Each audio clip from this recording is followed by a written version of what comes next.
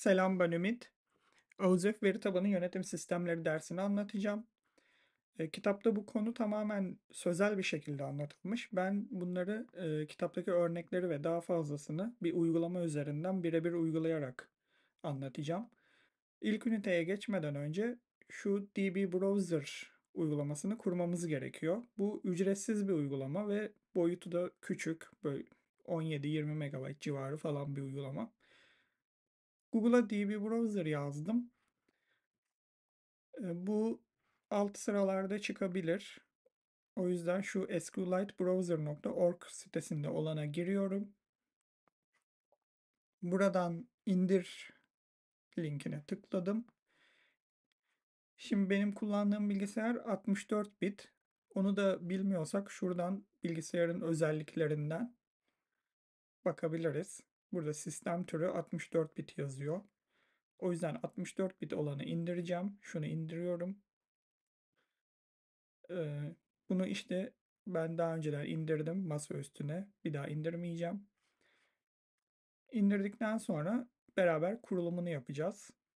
Ee, MacBook için de aynı şekilde buradan ya da Linux için de şuradan indirip kurabiliriz. Ben bu videoda Windows ve MacBook için olanı anlatacağım.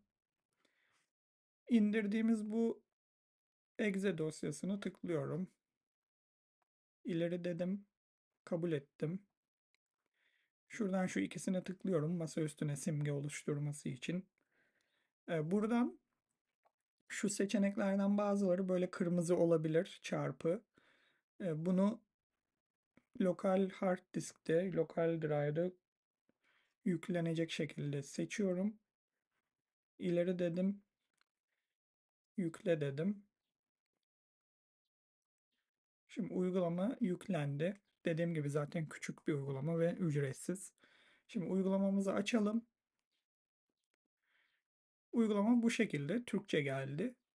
Varsayılan olarak. Eğer farklı bir dilde kullanmak istiyorsan şurada düzenleden tercihlere tıkladığında burada genel sekmesinin altında dil seçeneği var. Buradan dilini değiştirebilirsin. Uygulamayı kapatıp açman gerekecek değiştirirsen.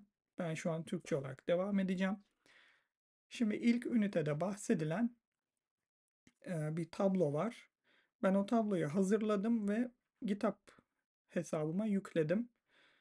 Genel olarak e, kanalda paylaştığım hemen hemen her şeyi burada kodlarını paylaşıyorum. OZEF'i de burada bir OZEF diye bir klasör oluşturdum. Bunun içinde paylaşacağım. Ben direkt dosyanın linkini bırakacağım ama genel olarak nasıl indireceğini de buradan mesela veri bilimi ile alakalı dersleri burada paylaşacağım. Veri tabanı yönetim sistemlerini şu an işlediğimiz için birinci üniteye tıklıyorum. Buradan öğrenci.db'ye tıklıyorum. Buradan indir butonuna tıklayacağım. Bunu da masa üstüne kaydedeceğim. Masa üstüne geldi.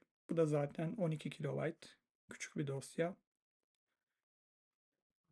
Şimdi bunu deneyelim. Uygulamayı açıyorum. Buradan veri tabanı aç diyorum. Masa üstündeki bu dosyayı seçtim. Bu tabloyu tıklayıp öğrenci tablosu oluşturmuştum. Birinci ünitede bahsi geçen. Buna tıkladığımda burada veriyi görüntüle diyorum. Burada kitaptaki verinin aynısını ben buraya girdim. Sadece soy isimlerini girmedim. Bunlar anladığım kadarıyla gerçek kişilermiş. Bu soy isimlerini girmedim. Sadece adını girdim. Eğer bu tabloyu bu şekilde görüntüleyebildiysek işlemimiz başarılıdır.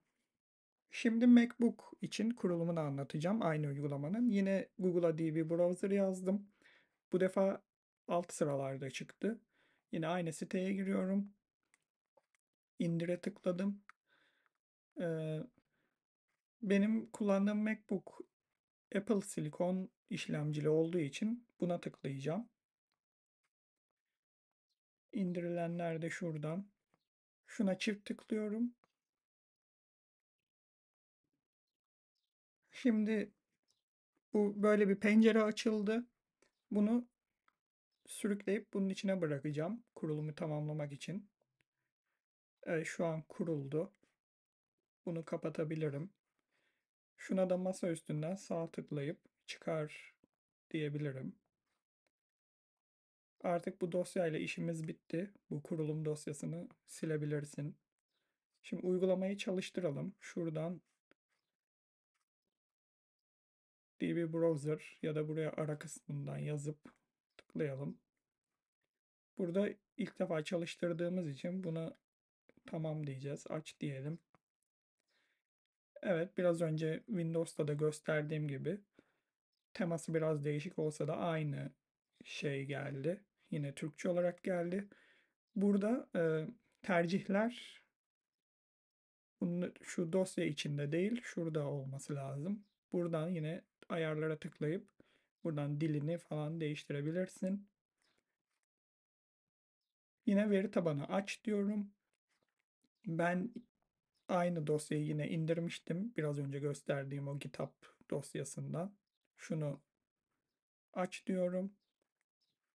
Gördüğün gibi yine öğrenci tablosu geldi. Buradan veriyi görüntüle diyorum. MacBook için de aynı bu şekilde işlemi başarılı olarak tamamlamış olduk. Şimdi birinci üniteden devam edebiliriz.